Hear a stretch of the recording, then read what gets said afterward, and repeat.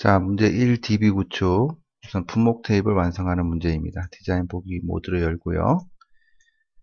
자, 문제에서 번호 품명 규격, 번호 품명 규격 필드를 자, 기본 키로 지정해라 라고 했고요.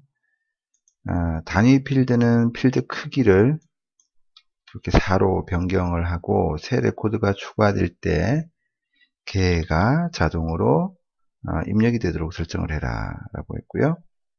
그 다음에 단가 필드의 형식을 천 단위마다 구분 기호를 표시하고 숫자 앞에 원 기호가 표시가 되도록 형식을 설정하시오. 아, 단 값이 0일 경우에는 0이 표시가 되어야 된다. 표시예가 주어졌고요. 아, 이건 이제 사용자 정의 형식을 지정해 줘라 라는 것이고요. 어, 앞에서 비슷한 것을 해보았죠. 이렇게 아, 뒤쪽에 원 기호를 그대로 표시하기 위해서 사용자 정의 형식 문자 원 기호를 이렇게 적어줍니다. 그 앞에는 앞에 원은 뒤에 원 기호를 표시하기 위한 그대로 표시해주기 위한 사용자 정의 문자이고요. 아, 그 다음에 아, 천 단위 구분 기호는 콤마죠 콤마 숫자 데이터를 받아줄 수 있는 샵 임의 수치 데이터를 받아줄 수 있죠. 그래서 샵, 콤마, 샵 이렇게 해주면 천 단위 구분 기호가 될 것이고 어, 그 다음 여기 이제 문제는 값이 0일 경우 0이 표시되어야 된다. 사용자 정의 형식은 3개의 구역으로 구분이 되죠. 아, 4개의 구, 구역으로 구분이 되죠. 아, 여기에서는 첫 번째 구역을 이렇게 지정을 해주면 이 부분이 첫 번째 구역이죠. 세미콜론의 앞쪽. 그래서 이쪽은 양수 구역이 되는 것이고 두 번째 구역은 음수 구역이 되는 것이고 그 다음에 세 번째 구역은 0의 구역이 되는 것입니다. 그래서 음수에 대해서 지시사항이 없기 때문에 그대로 가고요.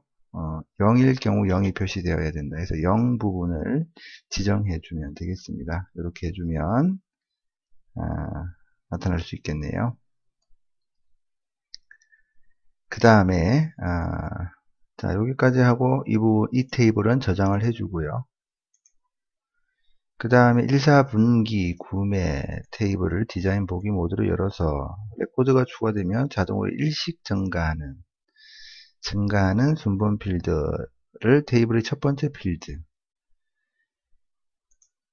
자 여기다가 행 삽입하고요. 여기 순번 필드를 그 다음에 첫 번째 필드 1씩 증가하는 1년 번호 데이터 형식이겠죠? 이렇게 지정해 주고요. 그 다음에 신청일 필드의 값이 2009년 1월 1일부터 2009년 3월 31일 아, 그러니까 2009년이죠? 말하자면. 이전에 에, 그 값인지를 검사하는 규칙을 설정하시오. 그러니까 2009년의 데이터를 얘기를 하는 거죠. 그러니까 아, 2009년 1월 1일보다 크거나 같고 2009년 3월 31일보다 작거나 같은 데이터. 그럼 우리 생각 당장 나는 게 유효성 검사 규칙에 between A and B 해주면 되겠죠. 그래서 B, B, T, W, E, E, N between A and B 2009 어, 01이 아니고 그냥 1이죠. A and B는 2009 3에 31 2009년 전체가 아니라 3월달이네 3월달. 3월달까지 죠. 이렇게 처리해 주면 되겠습니다. 닫고 얘를 눌러서 저장을 해 주도록 하고요 그 다음에 2번 1, 4분기 테이블의 신청 부서 필드는 자, 1, 4분기 구매 테이블이 필요하고요. 그 다음에 부서 테이블 필요하고요. 음, 1, 4분기 구매 테이블과 분목 테이블도 필요하네요. 분목 테이블도 추가해 두고 자 우선 1, 4분기 구매 테이블의 신청 부서 필드는 부서 테이블에 코드를 참조하고 이렇게 가져다 두면 되겠죠. 아래쪽에 항상 참조 무결성 유지하라고 했고 각 테이블 변경되면 변경되도록 설정을 하고요. 관련 레코드는 삭제할 수 없도록 이렇게 만들기 하면 되겠습니다. 그 다음에 1사분기 구매 테이블에 보기 좋게 좀 이렇게 가져다 두고 해볼까요? 1, 4분기 구매 테이블에 품목 필드는 여기죠. 이 품목 필드는 품목 테이블의 번호 필드를 참조하며 이쪽이 기본 테이블이고 참조 테이블이 되겠죠. 번호 필드를 참조하며 똑같이 해서 만들기를 누르면 기본 테이블 쪽에 참조 필드에 고유 인덱스가 없다. 여기를 얘기를 하는 거죠. 1, 4분기 구매 테이블 쪽에 아, 이 품목 필드에 에, 그, 그 뭡니까? 고유한 인덱스 값이 없다. 이런 얘기가 되는 것이죠. 자, 그러면 우리가 이 부분은 어, 그 고유한 인덱스를 실제로 이제 어, 그 관계에서 안 나올 때는 만들어 줘야 된다는 것이고요. 그래서 품목 테이블의 디, 테이블 디자인에 들어가서 그죠? 테이블 디자인에 들어가서 어, 관계를 맺을 필드 기본 테이블 쪽에 관계를 맺을 필드의 인덱스를 이렇게 어, 고유한 인덱스로 중복 불가능한 고유한 인덱스로 만들어주면 되겠습니다. 이렇게 해서 테이블을 저장을 해주고요. 다시 문제로 돌아와서 1사분기 구매 테이블의 품목 필드는 품목 테이블의 번호 필드를 참조하며 이렇게 해서 만들어주면 에러가 나오지 않겠죠. 그 다음에 세 번째 추가 구매 요청 테이블의 레코드 중에서 어, 추가 구매 요청 테이블의 레코드 중 누적 구매 요청 테이블과 신청일이 중복되지 않은 레코드만 추출해서 누적 구매 요청 테이블에 추가하는 추가 구매 쿼리를 작성하시오. 어, 그러면 추가될 소스가 되는 것은 추가 구매 요청이죠. 얘가 소스가 되는 것이고요. 그러면 뭐 특별히 뭘 빼라 어떤 필드를 빼라라는 얘기가 없기 때문에 그대로 다 추가를 해주고요. 대신 문제에서 어, 추가 구매 요청 이 테이블의 레코드 중에서 우선 이 쿼리의 유형을 추가하는 것이니까 추가 쿼리로 이렇게 바꿔주고요. 어디에 추가합니까? 문제에서 어, 추출의 누적 구매 요청에 추가하는 이렇게 되는 거죠. 예. 이렇게 되는데 이제 문제에서 그 신청일이 중복되지 않는 레코드만 추출해라 라고 했습니다. 그 얘기는 누적 구매 요청 쪽에서 신청일을 검색해서 추가 구매 요청 쪽의 신청일에서 제외시키면 신청일이 중복되지 않는 레코드만 추출이 되어서 추가가 되겠죠. 그 얘기를 하고 있는 것입니다.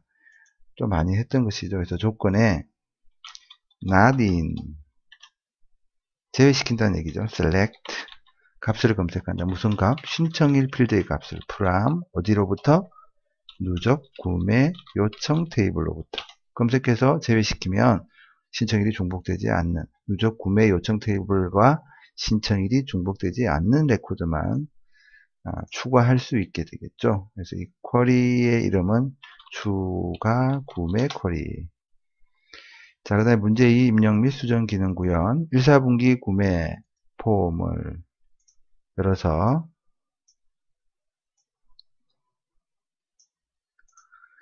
자, 문제에서 어, 기본 보기를 화면과 같이 표시되도록 설정을 해라. 연속 폼으로 하라는 얘기고요. 그 다음에 본문의 모든 컨트롤에 대해서 화면의 왼쪽부터 차례대로 본문의 컨트롤에 대해서 아, 탭 순서로 지정을 해도 되고 탭 인덱스를 지정해도 되고 에, 여기 뭐 순서를 하나하나 어떤 컨트롤의 이름을 지정해 주지 않았으니까 귀찮으니까 그냥 여기에서 탭 인덱스를 통해서 지정하는 편이 빠르겠네요. 그죠? 그래서 탭 인덱스를 어, 탭 인덱스는 0부터 시작하죠. 0 1 왼쪽 붙으니까 2, 3, 4, 네, 4까지 지정해 주면 되겠네요. 이렇게 탭 인덱스를 지정해 주면 되겠습니다. 그 다음에 본문의 txt 신청일, txt 신청일, 네. 아, 컨트롤에는 월과 일만 표시가 되도록 mrdel이네요. 포맷 함수 이용해서. 아, 그러면 이 컨트롤 원본을 우리가 지정해 주면 되죠. 는 포맷 바로 이 신청일 필드를 사용자 정의 형식 m 월 d 1로 이렇게 표시를 해주면 되겠죠. 어, 간단한 문제이고요.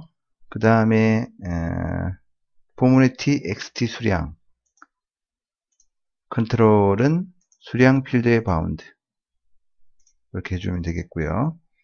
폼 바닥글의 txt 합계. 컨트롤은 아, 금액의 합계, 금액 필드의 합계, 는 sum 금액 필드의 합계. 이렇게 지정해 주면 되겠습니다. 아, 자, 그렇게 설정을 하고 형식은 표준 소수 자릿수는 자동이 아니라 0 이렇게 지정해 주라고 했네요. 자 계속해서 이, 번두 번째 문제도 어, 그 1사분기 구매 폼에서 작업을 하니까 그대로 해보도록 하죠. 자 CMB 신청 부서 CMB 신청 부서 어, 컨트롤을 다음과 같이 설정을 해라. 콤보 상자로 변경을 하고 우선 얘를 변경 콤보 상자. 아, 변경을 했으면 행 원본을 지정해 줄 수가 있겠죠? 부서 테이블에 코드 그다음에 부서명 대표 전화. 이렇게 행 원본으로 지정을 해주고요. 아, 다른 지시사항은 없고요. 코드 필드의 값이 표시되지 않고 나머지는 표시되라는 것을 보니 아, 열 개수가 지금 3개잖아요. 코드 부서명 대표전화 그대로 지정을 해주고 어, 코드 필드의 값이 표시되지 않도록 하라 라고 했기 때문에 첫 번째 필드의 값은 표시가 되지 않고 라는 의미죠. 그래서 첫 번째는 0cm가 될 것이고 두 번째가 1.5, 그 다음에 세 번째가 1로 이렇게 조정을 해주면 되겠죠. 실제로는 이렇게 표시가 될 것이고요. 아, 뭐 다른 특별한 지시사항은 없기 때문에 여기까지만 작업을 하면 되겠습니다. 그래서 닫고 얘를 눌러서 저장해주면 되겠고요. 음, 그 다음에 구매 요청 품목을 디자인 보기로 열어서 아, 폼의 본문 영역에 화면을 참조해서 본문 영역에 1, 4분기 구매 폼을 하위 폼으로 이렇게 뭐 집어 넣어 주면 되겠죠. 아, 기본 폼과 하위 폼의 아, 기존 필드는 문제 1의 2번 우리가 그 아, 그 참조 무결성 유지 때문에 관계를 맺었던 그 번호와 분모 이것 얘기하는 거네요. 그죠? 이렇게 해서 어, 만들어주면 되겠고요. 상세 구매 요청 내역으로 상세 구매 요청 내역 자 이렇게 만들어주면 되겠습니다. 일단 뭐 얘는 닫고 얘를 눌러서 저장을 하고요. 그 다음에 문제 3 조회 및 출력 기능 구현 구매 요청 내역 보고서를 디자인 보기 모드로 열어서 어, 보고서 머리글에 미리 보기 화면과 같이 보고서의 제목 여기 이 부분이죠. 보고서의 제목은 레이블을 이용해서 만들어 주고요. 어, 화면에 보면 구매 요청 내역 이렇게 되어 있죠. 이것에 에, 이 이름 이름을 우선 정해야 되겠죠. LBL 제목으로 하라고 했고 그 다음에 글꼴은 어, 궁서체로 하라고 했고요. 글꼴 크기는 20 텍스트 맞춤은 가운데 자 이렇게 지정하라고 했습니다. 그 다음에 분목 기준으로 두 번째입니다. 분목 기준으로 오름차순 정렬 그 다음에 신청일 기준으로 내림차순 정렬 제가 표시되도록 설정을 했고요. 그 다음에 본문의 txt 품명 본문의 txt 품명 예. 에, 컨트롤은 txt 품목의 컨트롤에 대한 품목 테이블의 품명 필드를 표시하시오. dlookup 도메인 집계함수 컨트롤 원본에 지정해 주면 되겠습니다. 아, 다 주어졌죠. 문제에서 그 품목 테이블의 품명 필드를 표시를 하는데 조건은 아, 조건은 아, txt 품목 컨트롤에 대한 품목 테이블의 품명 필드를 표시를 해라 라고 했습니다. txt 품명 컨트롤은 txt 품목 컨트롤? 자, 그렇죠. txt 분목 컨트롤에 대한 분목 테이블의 분명 필드를 표시를 해라. 자, 그럼 이 분목과 아, 어디를 비교를 해야 되겠습니까? 우리가 앞에서 아, 그렇죠. 이 분목과 번호 필드를 아, 비교를 해야 되네요. 관계까지 다 따져야 되는 좀 어려운 어, 문제일 수 있네요. 얘가 레코드 원본도 살펴보아야 되겠고요. 레코드 원본을 보면 아, 1사분기 구매 테이블에 모든 데이터를 다 가지고 있네요. 그래서 그렇다면 아, 아, 이 품목과 아, 그 번호, 번호 필드를 아, 비교를 할 수 있게 되는 것이죠. 네, 그래서 txt 품목과 번호 필드를 비교를 해주면 되겠다. txt 품명의 컨트롤 원본을 작성을 해보면 되겠네요. 자, 그래서 는 dlookup 인수가 3개를 가지고 아, 그렇네요. 문제에서 지금 생각해 보니까 분목 테이블이라고 주어졌네요. 네. 분목 테이블의 분명 아, 지금 문제에서 어, 구하라고 했고요. 그쵸? 네. 분목 테이블의 분명 필드를 표시해라 라고 했고 조건도 보면 어, 본문의 txt 분명 컨트롤은 txt 분목 컨트롤에 대한 이라고 했기 때문에 여기에서 번호 필드와 같은지 그죠? txt 분목 컨트롤이 같은지 이렇게 비교를 해주는 것이 맞겠네요. 적절하겠네요. 이렇게 처리를 해주고요. 그 다음에 본문에 에, txt 부서명 여기죠. 이 컨트롤에는 부서명과 대표 전화를 함께 에, 표시를 해라.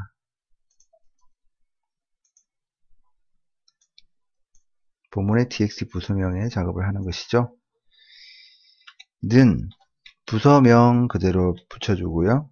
어, 그 총무부라는 부분이 부서명이죠. 그 다음에 뒤쪽에 뭐 적당한 텍스트와 그 다음에 대표 전화번호 8005-3113 있는 부분이겠죠. 어, 그래서 말하자면 end 그 다음에 아, 괄호 열고 그 다음에 이제 전화기 표시 같은 부분이 있죠. 투명 전화기 표시를 해주고요. 이렇게 식을 연결해 주면 되겠죠. 대표 전화 필드, 대표 전화 필드. 어, 자, 이런 건 다 테이블 디자인이나 이 그 폼의 어, 레코드 원본에 있는 테이블의 필드를 다 살펴보면 바로 알 수 있습니다. 닫는 괄호 이렇게 해서 컨트롤 원본 지정을 해주고요. 그 다음에 페이지 바닥글에 txt 날짜 예 컨트롤 원본이죠. 시스템의 현재 날짜를 어, 함수를 이용해서 표시해라. 형식은 수정할 필요 없다라고 했고요.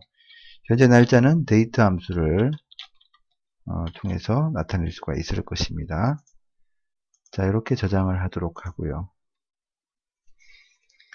두 번째 문제는 구매 요청 품, 구매 요청 품목 품을 폼을 디자인 보기를 열어서 아, 이 폼의 txt 분명에 예, 줘야 할 분명의 일부 문자, 일부 문자라는 것을 보니까 like 연산자 들어가야 되겠고요. 입력한 후 조회 cmd 조회를 클릭하면 해당하는 분명의 구매 요청 정보가 표시되도록 이벤트 프로시저를 표시를 해라.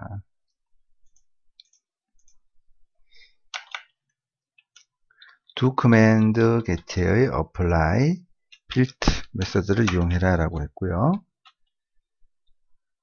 아, where condition, 조건절을 적어주면 되죠. 문제에서 어, 품명과 아, 품명 필드 품명 필드와 txt 품명 필드가 원래는 같은 지로 하면 는이라고 해야 되는데 여기서 일부 문자를 포함한다고 했기 때문에 는 대신에 like 연산자가 들어가고 품명이 데이터 형식에 따라서 아, 작은 따옴표로 에, 그 컨트롤을 둘러싸야 되겠고요.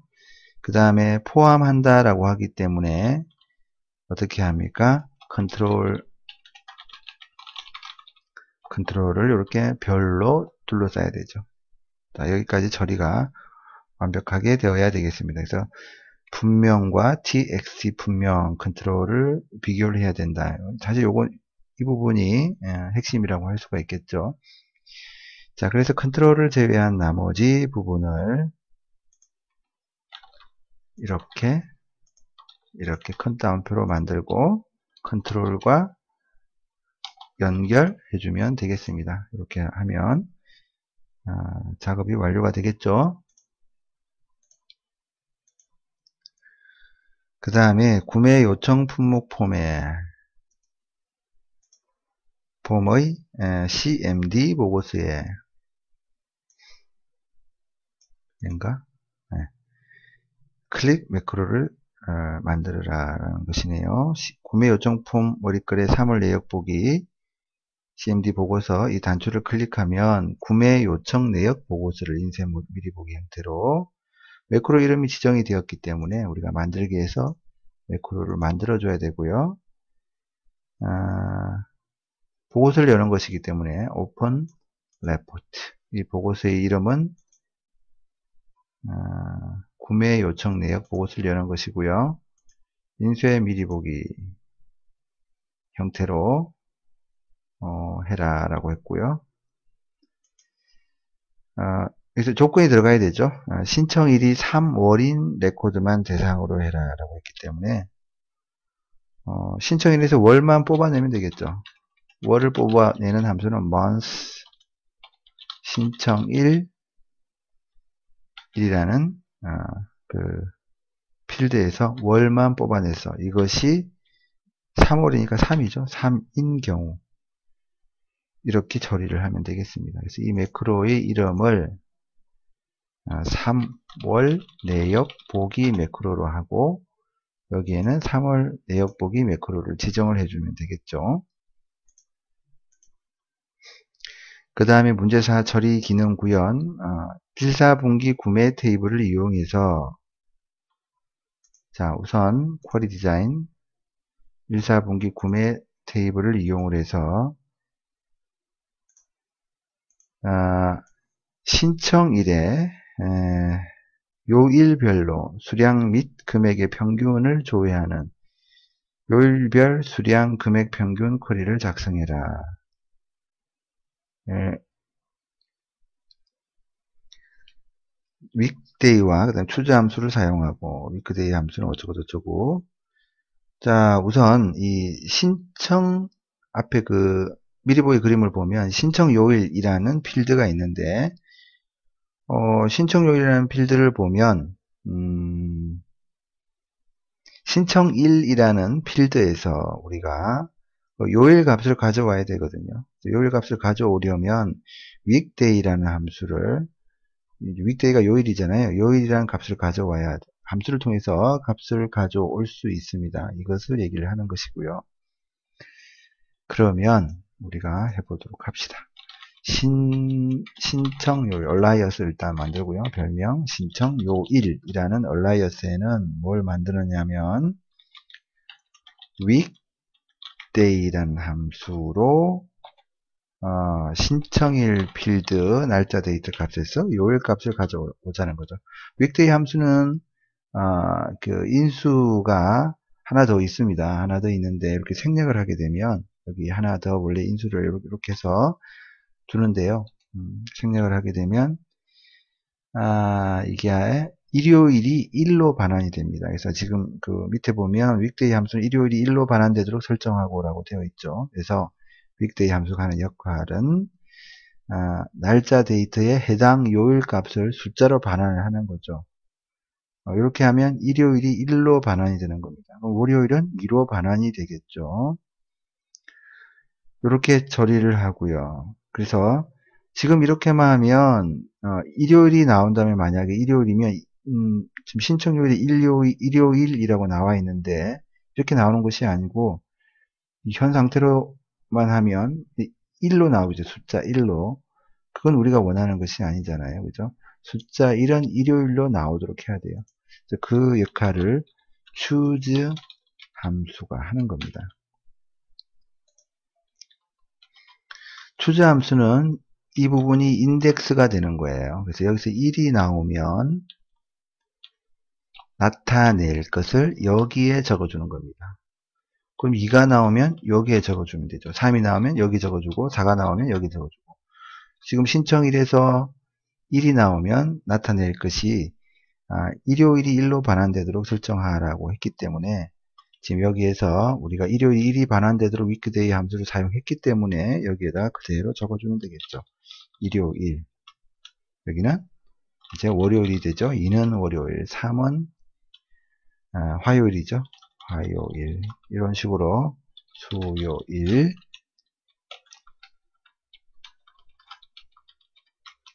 수요일 목요일 금요일 토요일까지 이렇게 적어주면 되겠습니다.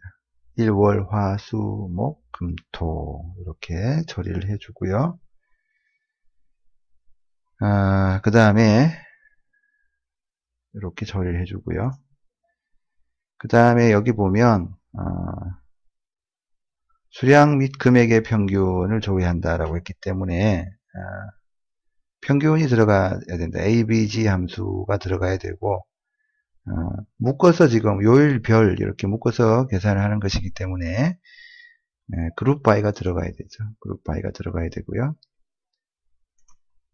그래서 이 부분은 이제 처리가 됐으니까 그대로 두고 어, 여기죠. 자, 지금 그 문제에서 어, 평균은 수량의 평균이죠. 수량의 평균을 구하고 이것의 평균 값을 구해라 라고 했고요. 그 다음에 금액의 평균 금액의 평균 이것도 평균 값을 구하고 그 집계 함수를 사용하려면 어차피 그룹 바이를 사용해야 되잖아요. 이렇게 해서 어, 값을 구해주면 되겠죠. 실행시켜 볼까요? 음, 수량의 평균, 금액의 평균 이렇게 나오고요. 다시 디자인 보기로 들어가서 얘도 체크를 해야 되겠죠. 자, 우선 이렇게만 해놓고 보면 이 부분이 지금 정렬이 맞지 않아요. 그렇죠? 정렬이 맞지 않기 때문에 자, 정렬까지 신경을 써야 되겠죠. 문제에서 어, 그 정렬은 화면도 참조해 가지고 화면을 참조해서 어, 작업을 해라 라고 했기 때문에 아, 굉장히 좀 복잡한 문제네요. 그럼 똑같이 다시 weekday 함수를 이용해서 이 신청 1 이렇게 하면 일요일이 1부터 뽑아져 나오겠죠. 그래서 이, 여기에 대한 정렬 값을 얘는 보이면 안 되겠고요. 정렬 값을 우리가 어, 오름차순 오름차순이라는 것은 1, 2, 3, 4 이렇게 이 순서대로 어, 정렬이 되도록 처리를 해주면 되겠죠. 어, 그래서 이렇게 정렬을 해줘야 되겠고요. 그 다음에 아, 여기도 마찬가지입니다. 여기도 우리가 속성에 들어가서 이렇게 이 부분을 이렇게 바꿔줘야 돼요. 왜냐하면 소수점으로 나타나기 때문에 그냥 일반 정수 형식으로 나타날 수 있게 이렇게 바꿔야 되겠고요. 이 부분도 마찬가지입니다. 속성에 들어가서 어, 통화 형식으로 바꿔줘야 되겠네요. 이렇게 해서 바꿔주고 다시 실행시켜 보면 이제 예, 이런 형태로 나타나죠. 미리 보기 그림과 비교를 해보니까 예, 동일하게 나타납니다. 여기가 소수점이었고 여기는 일반 그냥 수치 데이터로 나타나는 형태였기 때문에 어, 미리 보기 그림과 최대한 맞춰주는 것이 어, 그 맞춰주는 것이 맞습니다. 그렇게 처리를 해야 돼요. 왜냐하면 문제에서도 화면을 참조해서 설정하시오라는 지시사항이 분명히 있기 때문에 그렇게 처리를 해야죠. 얘는 요일별 수량, 금액, 평균, 어, 쿼리가 되는 것입니다. 좀그 어렵다기보다 작업할 게 많은 그런 쿼리 문제네요. 그 다음에 이제 분목별 최대 단가 쿼리 만들어 보도록 하겠습니다. 분목 테이블을 이용해라 라고 했고요. 아, 매개 변수 메시지 주어졌고 그러면 우리 아, 여기서 분목 그 미리 보기 그림의 예, 결과를 보면 이 단가가 최대 단가겠죠. 그 다음에 어, 최대값을 구해야 되니까 이렇게 에, 처리를 해야 되겠네요. 그렇죠? 어, 그 다음에 조건이 주어지겠죠. 아, 그 일부를 입력하라 라고 했기 때문에 또 like 연산자가 들어가겠고요. 그렇게 하면 우리가 어떻게 합니까? like 별 대괄호 별 여기 속에 집어넣어 주면 되죠. 프랑프트를 조회할 분명의 일부를 입력하시오. 이렇게 처리를 해주면 되겠습니다. 그래서 어, 식의 구성 요소인 연산자나 이런 부분을 제외한 나머지 텍스트 부분이 되겠죠. 텍스트 부분을 이렇게 식으로 꾸며줍니다. 만들어줍니다. 이렇게 처리를 해주면 되겠죠. 음. 그래서 이것의 쿼리의 이름은 분, 분목별 최대 단가 쿼리 이렇게 하면 되겠고요. 맞게 나오는지 한번 확인해 봐야 되겠죠. 네, 맞게 나오는 것 같고요. 맞게 나오고요. 예, 그 다음에 1사분기 구매 폼의 1사분기 구매 폼의 아, txt 합계 아까 여기 이걸로 만들었죠. 예. 이 컨트롤의 포커스가 이동될 때 on got focus 아, 이벤트 프로시저 만들어주면 되겠습니다. 합계가 200만원 이상이면 금액 조정 요망이라는 메시지를 화면에 출력을 해라. 그러면 그냥 그대로 입력해 주면 되겠죠. 만약에 txt 합계 컨트롤의 값이 크거나 같다. 1, 10, 100, 1000, 만, 10만, 100만, 200만 맞죠?